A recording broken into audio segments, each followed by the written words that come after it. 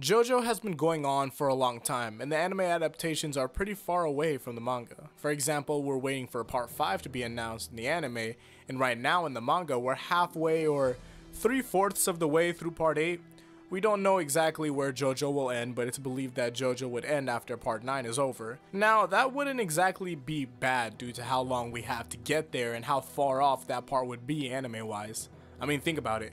JoJolion came out in 2011, and look where we are in the manga. But that all draws to one main thing. JoJo, and I mean the main characters, Bloodline, the guys with the stars on their necks, you know what I'm talking about. We have every part with a new JoJo, and then we have our antagonist. Now, not all parts grow up with the character. Jonathan is the only one where it's him growing up, and we're not getting flashbacks to times of where he was younger to develop his character. That's probably because not all of the JoJos had eventful childhoods like Jonathan, but there's always a group of people that either had an eventful childhood or just an eventful life, not just up until the part, but throughout it. The antagonist. I couldn't find the best way to say this, so I'm just going to give it as a statement. I want to see JoJo, but from the villain's view meaning before the encounters with JoJo, the interactions we get through the flashbacks, the history, and all in all, almost everything about the villain. Let's take Kira for example, since he was one of the ones I thought about a lot when writing this. We could have it to where we see Kira growing up and becoming aware of his tendencies. The times where he was in school and probably thought a lot about what he wanted, but then holding that back while following the whole third place act where he never stood out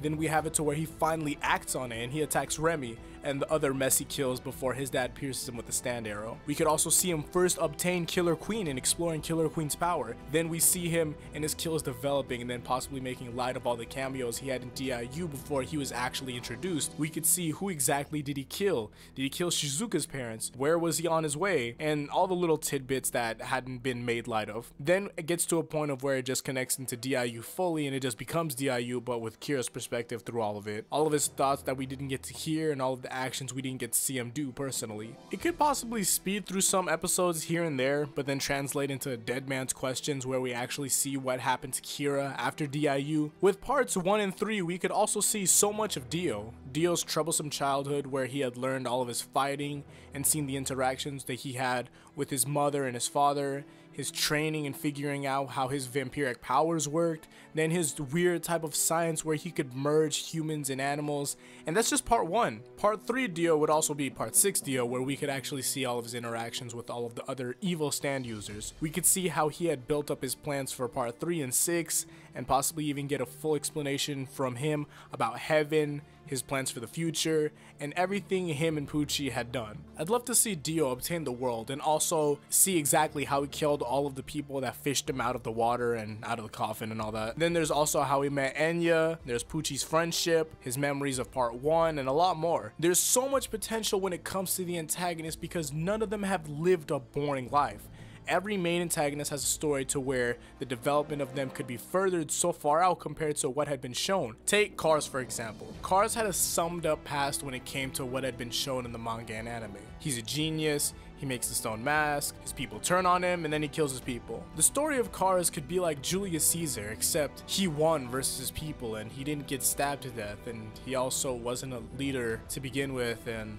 he actually made a revolutionary thing for the sake of his people and to further evolution with some sort of brain acupuncture. Okay, yeah, Kars and Julius Caesar, they don't really have much similarities, but it's easy to assume what I mean. You have Kars, he had have to have seen some of his people die due to sunlight and other things. He had to have had time to think about how the stone mask was going to work and possibly with some sort of explanation on how the stone mask works too because that would be great to understand. Also, I would like an explanation of his bone blade and ACDC's boiling blood and how exactly were those things obtained. Then there's the all-out brawl between Kars and his people after that, you have Kars and ACDC raising Wamuu and Santana, going across the land, tormenting some people here and there. You see Wamuu develop his nobility as a man or well a pillar man. Then there's the original Hamon users versus the pillar men, and all of it just ending off with them resting at the same place where they were found at. Then the last thing you see is people setting up lights and to keep them there, and where it ends off with Wamuu opening his eyes and cuts the black with the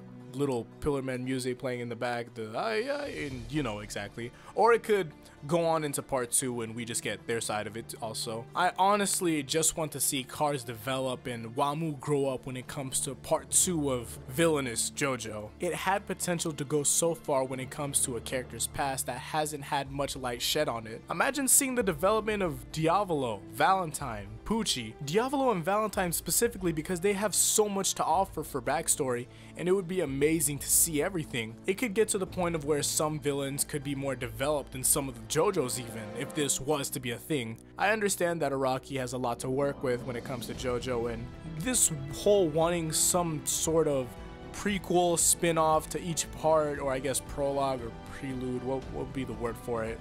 That would all just be a shot from space. But it possibly doesn't even have to just be Araki. It could possibly be where it's a specific studio he trusts to works on it while he's supervising and fact checking all the things that would happen and should happen when making it. Or it could even skip from being a manga to anime adaptation and just jump straight to being an anime. Possibly after JoJo is over in the manga after part 9, but when that comes, that will probably be around, say, 2030. I don't know, man. This should really be a thing. It, it gets to the point of where I don't even care if it's a fan-made manga. I just want it to be very well made. I've seen some really well fan-made manga, so it wouldn't be that far of a long shot, but tell me what you guys think in the comments. JoJo being finished as a whole would be around, I'd say again, 2030 but the anime would still for sure be going on if that's the case. So what do you guys think? Would you guys just be fine with JoJo circulating around JoJo or a villain's perspective would interest you. You can think about it like a better in canon Gotham,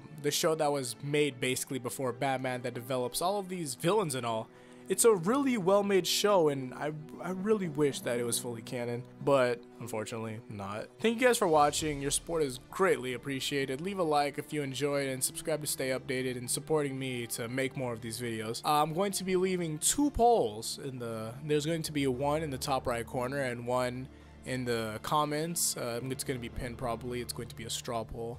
Uh, just just make a choice on which one. Just uh, you guys don't uh, you guys don't have to know exactly what it what it means. I just want you guys to pick your your favorite out of all the options. This is not it's possibly something for the future. Possibly. I, I'm very interested to do so. But thank you guys again. Until the next one, peace out and Godspeed.